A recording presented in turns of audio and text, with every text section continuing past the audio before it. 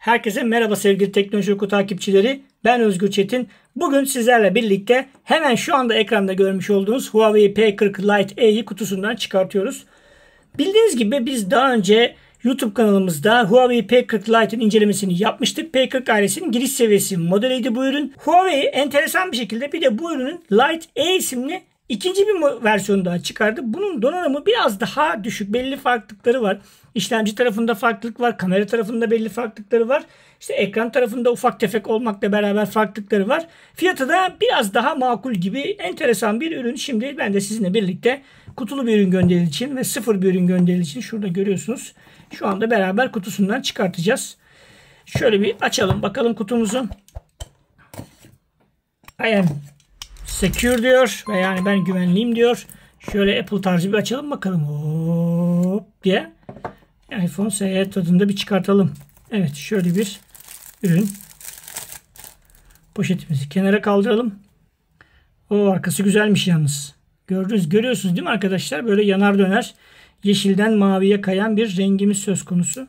Şu şeyi de çıkartalım. Bu tarzımızı bir bozmasın bu bizim. Şunları şuraya koyalım. Bir kez daha göstermiş olayım. Yeşilden maviye kayan güzel bir renk akışımız var burada bizim. Aurora Blue diye geçiyor bu renk. Kutuya baktım şimdi. Yani Aurora mavisi gibi bir şey var. Böyle köşeli birazcık da kenarları bu arada. Şu anda hissedebiliyor musunuz bilmiyorum. Delik şeklinde bir kameramız var. Sol üst köşede konumlandırılmış. Açma kapama tuşlarımız ve kulaklık sesini arttırma azaltma ses atma tuşları ve bu yeşilden maviye olan çizgi tasarım rengi yine yan yüzde de devam ediyor. Üst yan yüz tamamen yeşil.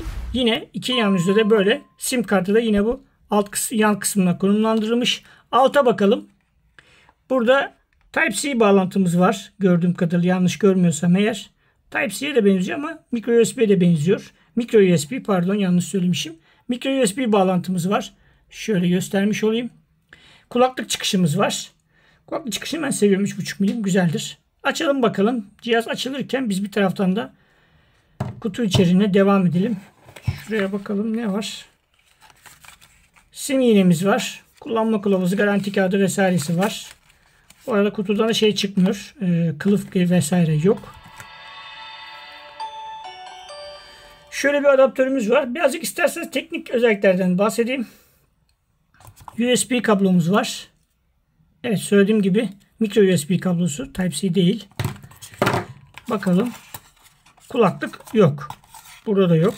Bize gönderilen üründe mi yok? Gerçekte olmayacak mı? Açıkçası bilmiyorum. Bunları yerine koyalım. Testte bunları zaten değerlendireceğiz.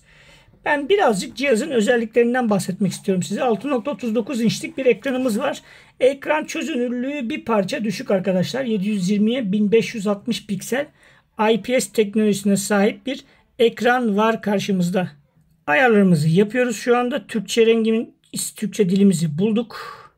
Başlayalım. Sonraki sonraki tamam diyoruz. Sim kartı atla diyoruz. Wi-Fi'ye bağlanma diyoruz. Tamam. Hayır teşekkürler diyoruz. Daha sonra diyoruz söylediği şeylere manuel güncelle diyoruz. Sonraki. Evet telefonumuz açıldı.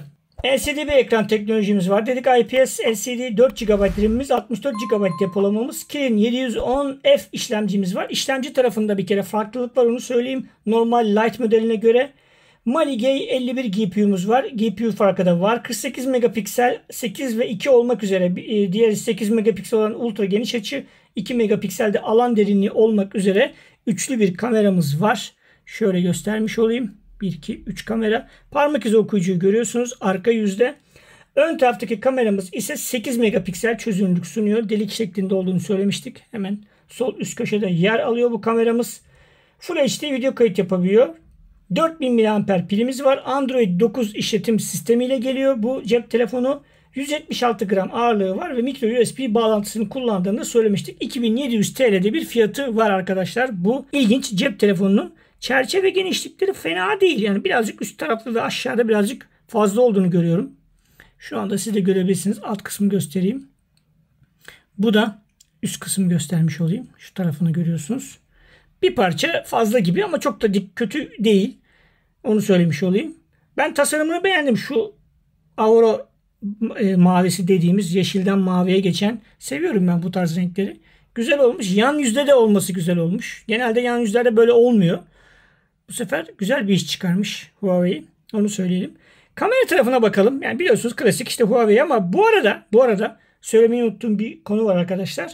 Bu üründe yine Huawei'nin son dönemde çıkardığı diğer P40 modellerinde olduğu gibi Google servisleri bulunmuyor ne yazık ki arkadaşlar. Yani Huawei App Galerimiz var. Onu kullanıyoruz ama Google ile ilgili bir işiniz varsa Google servislerini kullanmak istiyorsanız bu üründe ne yazık ki Google servisleri bulunmadığını belirtmiş olalım. Kamerasına bakalım. Bu arada Google servislerinden neyi kastediyorum?